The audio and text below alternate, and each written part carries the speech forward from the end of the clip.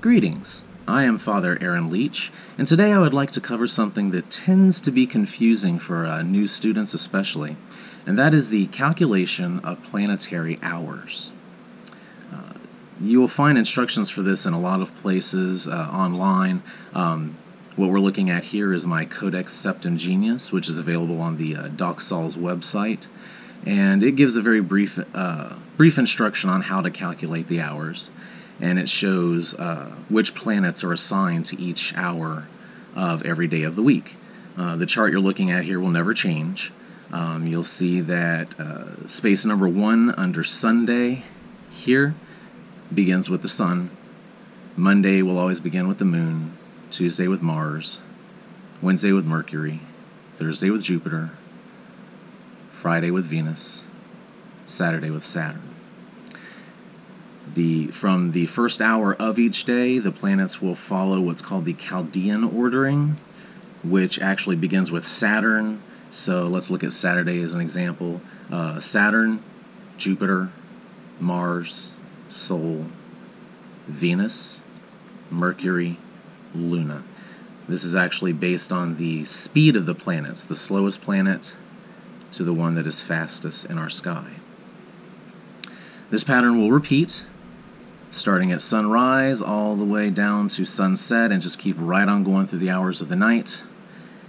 And then they'll pick up on, Mon- on the next day and continue. Um, don't be confused if you find charts that try to tell you that the hours, uh, the magical hours begin at sunset or that they begin at midnight. That is never the case. They will always begin at sunrise, at least in the Solomonic system. Uh, the other thing you need to be aware of is the day and the night will always be exactly 12 hours long each. That will never change, regardless of what the clock says. So, as the days get longer, the daytime magical hour will grow longer and longer. It will grow longer than 60 minutes and upwards towards 70 minutes. And as the nights grow shorter, the nighttime hour will grow shorter, it will get less than 60 minutes. Um, and then, of course, that switches when you get to the other half of the year. So let's get right into calculating an example. We won't need this. Now, I've, I usually scrawl this out in Chicken Scratch, but I wanted to make this kind of nice for you. But I usually start with a chart, something like this. I list my 12 hours. Um, I have a, a, column for the day, a column for the night, and then a column for the next day. You'll see why I have that in a moment. Now I've already looked up the sunrise and sunset for my target day, and on the day in question, sunrise will be at 6.52 a.m., and sunset that day comes at 8.18 p.m. Okay. And since we are working on Wednesday, I'm going to mark the first hour as that of Mercury. And then I'm going to go ahead and just fill these in using that Chaldean order I described to you. So Luna, Saturn, Jupiter, Mars, Sol, Venus, Mercury, and Luna. And then it repeats Saturn, Jupiter, Mars. And then it just continues right into the nighttime. So after Mars comes the Sun, Venus, Mercury, Luna. Repeat again. These aren't pretty, I apologize. But they get the idea across. And now, ooh, that's really not pretty.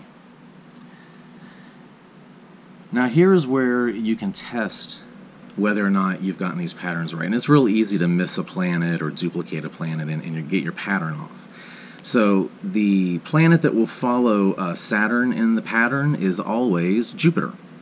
So the very next day should start with Jupiter. And since this is Wednesday, this is Thursday. So Thursday, hour number one at sunrise, should in fact be assigned to Jupiter. So this tells me that I got my pattern right. Okay. Also, for calculating nighttime hours, you're also going to need sunrise the next day. And it just so happens that sunrise is 6:54 a.m. the next day. Okay. With this, you have all the information you need. And the process is not really as complicated as it, as it looks when you're reading it. And that's why I want to show you guys what it actually looks like. So let's just start with the daytime hours. Okay, we're going to find out how long a daytime hour is. We know that it starts at 6.52 and it runs until 8.18. All right, so what we need to find out is how many minutes there are from 6.52 to 8.18. Now, I'm going to show you a little trick that I like to do here to simplify this. Um, what I like to do is make the day shorter.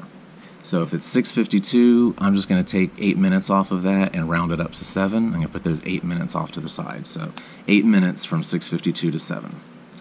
And 8 o'clock at night, I'm going to pull that one back instead of pushing it forward to 8 o'clock. And then I'm just going to take those 18 extra minutes and push them off to the side. Now it's very simple to find out exactly how many minutes we have because we know from 7 in the morning to 8 at night is 13 hours. Get this, make sure you can see it. Okay, so that's going to be 13 times 60 minutes. And that happens to be 780. Then you also have to have the uh, 18 minutes and the 8 minutes, add those back in. So for the entire day, we're going to have 806 minutes. All right? Now, all we have to do is take those 806 minutes and divide them into 12 equal or mostly equal portions. Uh, 12 goes into 806. That's going to be 67, and it's going to leave 0.2. This is the length of the magical hour for the day of Wednesday. 67.2. By the way, 0.2, that's about a fifth of a minute. That's going to be about 12 seconds. Um, as you're making your calculations here, these seconds are not going to really come into play much. Um, sometimes if the remainder is below 0.5, I'll just drop it and not, not pay any attention to it. If it's above 0.5, I'll just round it up to, like, say, 68. Um, the end result at your 12th hour will not be exact, but for practical purposes, it's not going to make a difference. If you do want to be exact, you can take the extra step of adding that in. So, for instance, uh, this 12 seconds, it's going to take five of those to equal an, an entire minute. So, let's say this hour, one, two, three, four, five. I'm going to mark number six. And what I'll do is I'll add a minute to the time that we get for number six. And then uh, one, two, three, four, five, and then right here at hour number 11, I'll add another minute. And that should get us exactly to the second. So from here, it's a little tedious, but it's very simple. 67 minutes from 6:52 a.m. Well, 60 minutes later would be 7:52, and if you add 7 minutes to that, you get 7:59.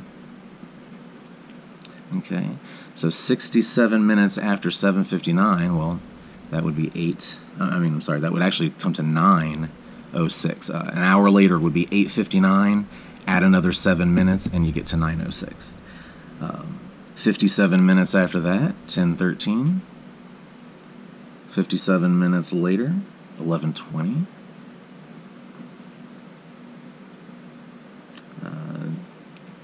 Then we get to, uh, this would actually be 12.27. You'd add another 7 minutes, but I'm adding a minute to catch up with this extra 12 seconds.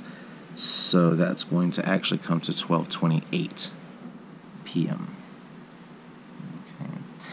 Uh, after 12.28, 57 minutes later, 1.35. Then 2.42 p.m. 349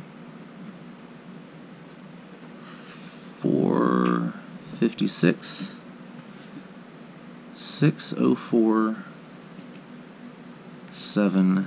711 Now here's another point where you can check your work. Uh, if hour 12 starts at 7:11, 57 minutes later will be exactly 8:18, and as you see, 8:18 is in fact the first hour of dusk. So now we just need to find out what the nighttime planetary hour length is because it's going to be different than the day. The day is longer than an hour, so the night is going to be shorter than an hour. Um, now I've done these calculations before, so I'm going to go through this real quick and show you. 8:18 is dusk, sunset. 6:54 is the is when uh, sunrise for Thursday is, and we can make this nine o'clock to 6 o'clock, and we'll just set those 54 minutes and those 42 minutes aside. Alright, and that will get us actually 9 hours. So 60 minutes times 9 gives you 540 minutes. And then we want to add in the 42 and the 54 for a grand total of 636. Okay. Divide that by 12. And you will find 53 minutes exactly with no remainder. And uh, interestingly, the daytime hour was seven minutes longer than an hour. The nighttime hour is seven minutes shorter than an hour. All right. So now let's just go down through here. 50. We're going to add 53 minutes to every to every time. So 8:18, 53 minutes later is 9:11. After that will be 10:04 p.m. 53 minutes after that will be 10:57. Then 11:50. 12:43 a.m. 1:36. 2:29. 302. Uh, that's AM. Oh, I'm sorry. Yeah, that's AM, but I'm going to write that down here because uh, that's going to be 4:15 AM. 5:08 and 53 minutes later will be 6:01. All right, now here's our next check. 601 plus exactly 53 minutes gets us to 654 and sure enough day, uh, sunrise the next day was in fact 654 so now we have all of our data correct and we can go right through here let's say since we're working on the day of Wednesday we're probably also looking for an hour of Wednesday 652 a.m. seven hours later will be 242 p.m. seven hours after that you'll be working at 1004 p.m and if you're really dedicated, you can stay up late and work at 4:15 a.m. And that is how you calculate magical hours.